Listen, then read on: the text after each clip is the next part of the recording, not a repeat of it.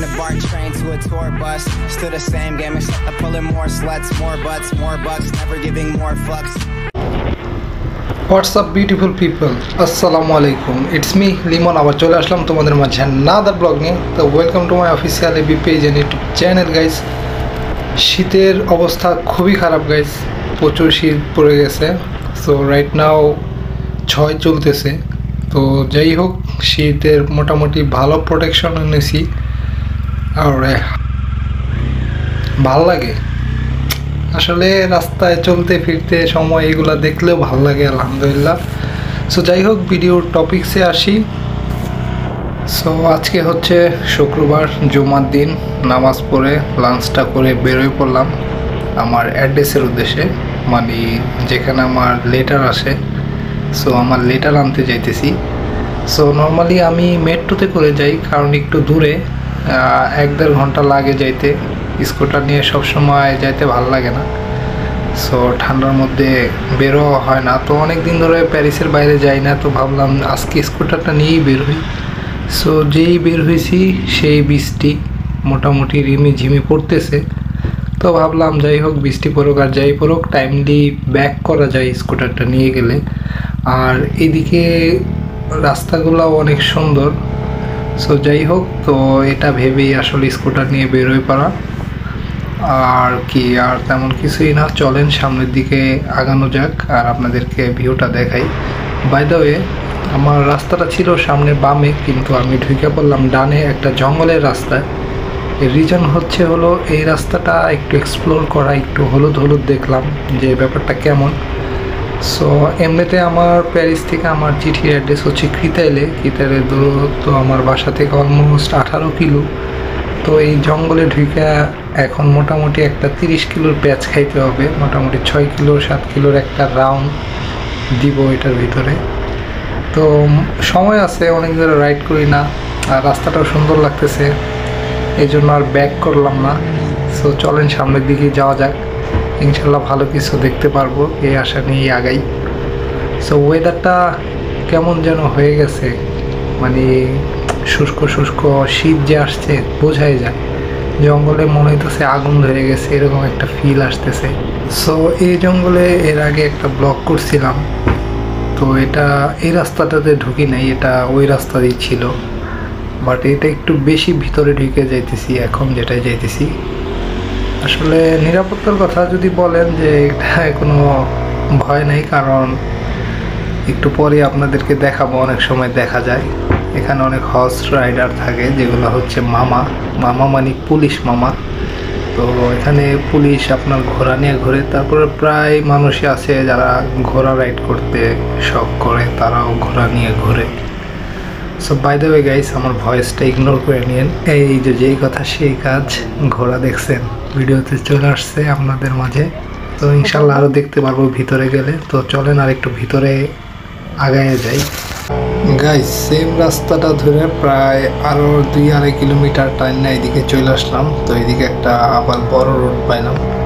So এদিকের ওয়েদারটাও খুব সুন্দর। আসলে বৃষ্টি ছিল কিছুক্ষণ আগে, আবার বৃষ্টিটা চলে গেছে। এই জন্য এখন আরও ভালো লাগতেছে ক্যামেরা দিয়ে ভিডিও শ্যুট করতে পারতেছি। বেশি বৃষ্টি আসলে আর ভিডিও শ্যুট করা হইতো না। ভাই, এই জায়গাটা খুব বেশি সুন্দর লাগতেছে। না ওই ডান পাশের রাস্তাটাতে আমার একটু রাইড করতে হবে। পাতা টাতা পইরা আছে, গাছের হলুদ পাতাগুলো খুব সুন্দর লাগতেছে। আই থিঙ্ক ভিডিওটা অনেক সুন্দর হইতেছে। সো আপনারাও কমেন্ট করে জানাইন। ও জাস্ট গাছগুলো দেখেন। আর নিচের মানে ডান পাশটা যা লাগতেছে, ভাই মার্শাল্লাহ সো আপনাদের সবার কেমন লাগছে অবশ্যই কমেন্ট করে জানাইন। ওই যে দেখেন, দূরে হয়তো দেখতে পাচ্তেছেন ঘোড়া নিয়ে আসতেছে। ও ভাই সাপ ঘোড়াগুলো জোস। তো, আমি জানি না, এরা আসলে পুলিশ কিনা, কারণ এদেশের পুলিশরা ঘোড়া নিয়ে ঘুরে হয়তো সিভিলে ঘুরতে বেরিয়েছে, এরকমও হতে পারে। আবার অনেক তো হর্স রাইডারও আছে সো তারাও হইতে পারে, জঙ্গলে হর্স রাইড করতে বেরিয়েছে। শখে অনেকে ঘোড়া রাইড করে, তো আই ডোন্ট নো এরা কারা? মেবি শখেই হবে, কারণ প্রশাসন বা পুলিশের লোক তো আর এভাবে রাইড করতে বেরোবে না। সো আমি টুকটুক করে আগাইতেছি আর পরিবেশটা উপভোগ করতেছি গাইস আপনারা ভিউটা কতটুকু উপভোগ করতেছেন অবশ্যই কমেন্ট করতে বলবেন না। কমেন্ট যদি না করেন তাহলে এরকম ভিউ আর দেখা হবে না। ওকে সো বেশি বেশি কমেন্ট করেন ভিডিও শেয়ার করেন। আরও খুবই সুন্দর সুন্দর জায়গায় ঘুরতে নিয়ে যাব, দেখাবো, যেগুলা ইউরোপে মানে ফ্রান্সের কখনো দেখেন নাই। ফ্রান্সের আইফেল টাওয়ার প্যারিস গেট তারপরে লোবর মিউজিয়াম মানালিস এগুলো নিয়ে সবাই ভিডিও করে। বাট এসব জায়গা আসলে সবার দেখারও ভাগ্য হয় না। সো লিটারেলি আলহামদুলিল্লাহ, দুই চাকার সাথে একটা ভালো বন্ডিং আছে। এই জন্য আমি এতটুকু পারতেছি। সো কাজের ফাঁকে হোক, যে কোনো গ্যাপে হোক, আমি একটু ঘোরাঘুরি করি। এবং অনেক দূর ঘুরে ফেলছি। এই জঙ্গলটা ঘোরার জন্য। তো যাই হোক, বেরোই বললাম এখান থেকে।